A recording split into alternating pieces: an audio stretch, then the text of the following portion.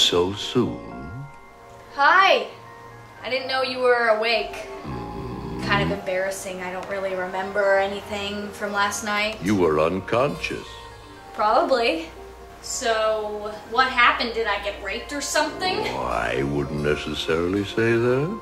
What does that mean? What? What does that mean? I bet you do this to children. I like children. How many children have you done it to? Only 9,891. Wow. What are you? I'm a luck dragon. More like rapist dragon. Never. Great, I'm gonna leave.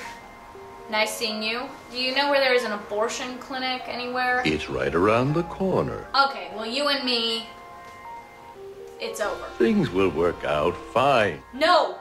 I will never ride you again. That's not funny.